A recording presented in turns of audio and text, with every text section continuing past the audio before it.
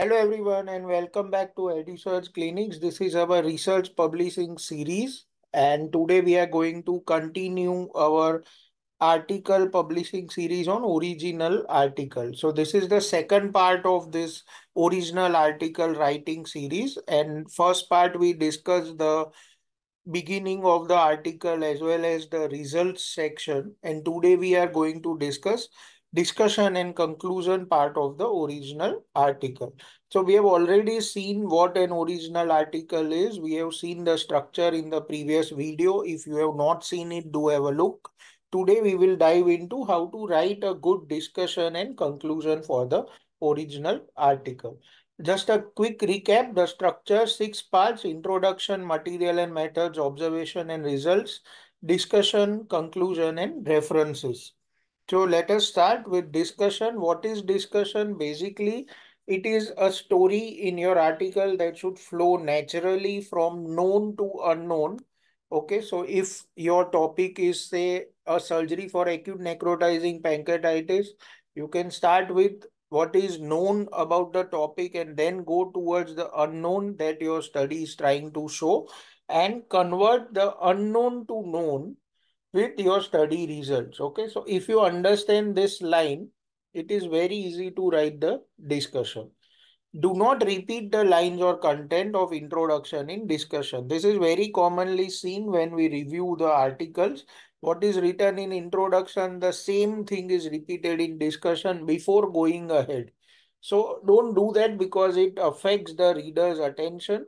Key points to cover in the discussion is what we are going to see here and it is very important that you have a structure and flow to the discussion. So we'll provide you some help and assistance on how you can have a structure or flow in the discussion.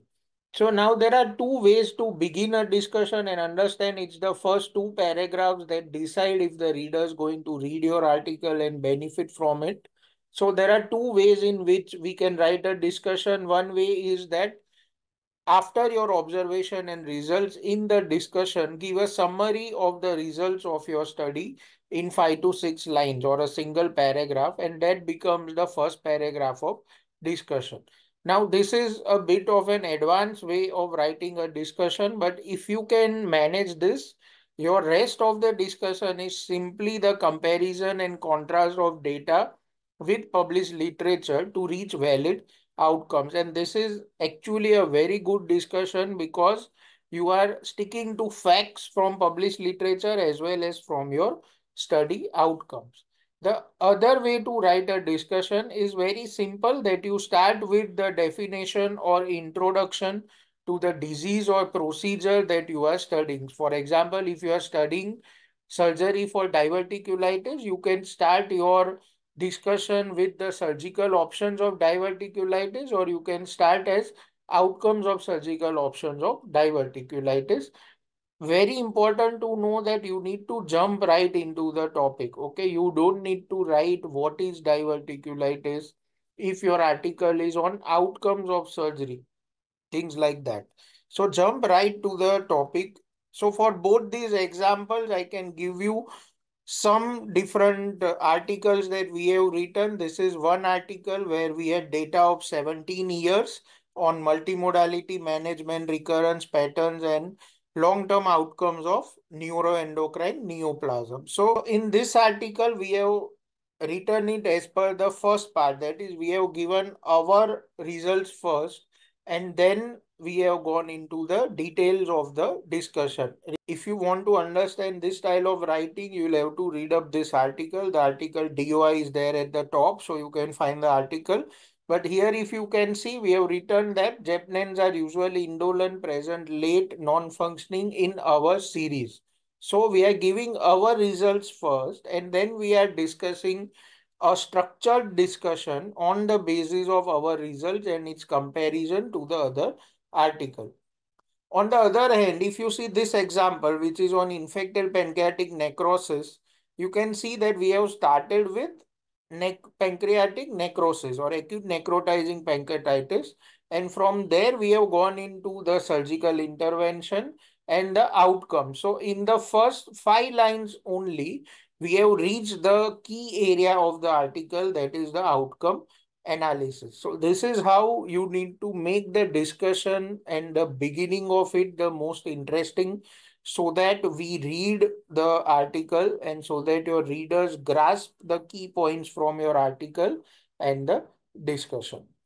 So how to do this? The first half is very important that when you take data from existing references, compare it with your results. Okay. The flow can be in these headings. So if it's a disease-based article, you can have the demography first. Compare demography in your data versus prevalent data. Look at clinical features, diagnosis, management, outcomes, follow-up, and survival data. If your paper is on outcomes, you can directly start with management and then go towards outcomes, discuss the outcomes in more detail. So, but in this line of flow is what will help you in structuring your discussion properly.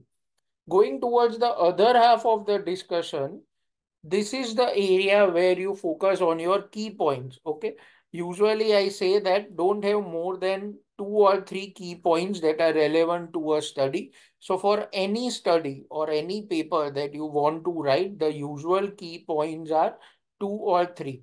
If you discuss all the points in your data like a thesis, then the readers get confused. So do not discuss all points in detail. The other half is limited to discussion of only the key results of your study in comparison to existing evidence to highlight the outcomes of your study. Okay.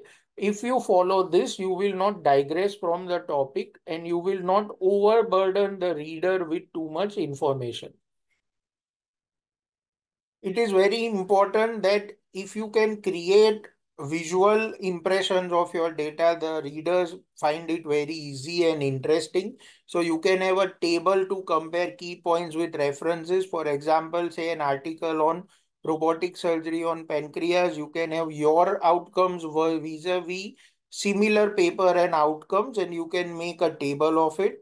Or if your article is on how to manage a particular disease, then you can create an algorithm based on the topic and this algorithm can then drive the discussion. So each point in your algorithm in sequence becomes your discussion. So table and algorithm become very easy ways of writing a structured discussion. Focus of the title will form the focus of the discussion. This is very important. Like I said, if your article is on outcome analysis, if it's on a drug, then start with the drug. If it's on how to manage a disease, start with the disease. So title should be very relevant to the discussion and the study. And focused discussion is what drives the study towards the conclusion. Very important to not have errors in grammar. Okay, never copy and paste any lines from an existing article because that amounts to plagiarism. Never write the title of a reference paper. So if you are quoting a reference paper, do not write the title of that paper verbatim. If you do that, it is plagiarism because more than three or four words in same sequence as another article is what is basically plagiarism. Very simple to understand. So don't do that. Do a grammar check three or four times. Never copy and paste any lines. So for example, this is the paper that we saw on infected pancreatic necrosis. The title is Outcome Analysis of VARD or Videoscopic Assisted retroperitoneal debridement. So it's a surgery and we are looking at outcome analysis. So a very simple algorithm is what decides what we have done. So you can see that the VARD has been performed and then what happens and what we have done. So the entire discussion is driven by this algorithm. So if you read this paper, the entire discussion is driven by a single algorithm and you can see it here the complications are labeled the way how the complications are managed has been labeled resolution not resolution new collections amenable not so all the options that are possible or all the outcomes that are possible after VARD are created in a single algorithm and this is what drives the discussion in the article Coming to other points, a very important point in discussion is limitations of the study. Don't feel sad that your study has limitations. All studies have limitations of some point. Some common limitations when you are doing new original articles or new studies is a single center study is a limitation. Most of the data is retrospective and small number of cases. Other important component of the article is recommendations. Remember that the recommendations have to be based on your study. It is the findings of your study which give you recommendations. So you don't need to give recommendations from your literature review and two to three key practice changing recommendations are more than enough. A summary of the article is very important so if you have started your article with summary, which is the first way of writing the discussion, then this summary part can be skipped. But if you have started writing your discussion in the second way, that is definition or introduction, then a summary in five to six lines to highlight the key points of your study are very good, but it should not be same as conclusion. Now, some important points on when you are quoting other study, the author name needs to be capitalized, very simple to understand. Always mention the number of patients in that study and the type of study. Is it RCT? Okay. Is it prospective, retrospective? Is it systematic review? So give type of study, give number of patients, year of publication and place of study and remember that you need to cover only the relevant points from that paper in not more than 100 to 150 words. Sometimes what we see while reviewing articles is that you have created two, three paragraphs of a single reference. It does not that it does not work that way. Not more than 100 to 150 words from another article are enough to summarize that article and provide you with a comparison point. Okay. So cover only the relevant points from your reference and include all these points. Say an article by Desai et al. at Lilavati Hospital and Research Center wherein they performed a study on outcome analysis of diverticulitis using laparoscopic surgery. Around 50 patients were taken from that study and what they showed is right? Something like that. So it should not be more than 100 to 150 words. Again, when we see an article, this is an example of limitation. So limitation, recommendation, very important parts of your article you can have. You can see here the limitations are single center data, retrospective nature, loss to follow up in some patients and small number of cases. However, we have given some recommendation also how further studies can be designed. So that is how you can give your discussion a structure. Going to conclusion, the probably the most important part, but also the most easy part to write in your paper is the conclusion. This is because if you have given a very clear-cut aim and objective in your title, primary and secondary objectives in your article at the beginning, the conclusion is simply an answer to your aim and objectives. Basically, final thoughts in a meeting, final thoughts in a paper is what a conclusion is. So for each aim, primary and secondary objective of a study, add one line as an answer and that becomes your entire conclusion. Remember that conclusion should not be same as the summary paragraph. Repetition of lines put a very bad impression in the minds of the reviewers as well as the readers about the article. So do not repeat lines. The reply to title or an answer to a question that is raised in the title can also be the conclusion. A strong and relevant recommendation, if it is there from your study, will also form a part of the conclusion. So if you consider these three, four options, it would be very easy to write around five to six lines, conclusions not more than 150 to 200 words. So don't write a very lengthy conclusion. It should be only three to four points that are very relevant to your study. If you want to see an example on this entire article, we are looking at outcomes, recurrence patterns, as well as multimodality management. And the conclusion directly goes into outcomes, okay? Long-term survival Then we have talked on different diseases and how they are managed. So multimodality management part is covered.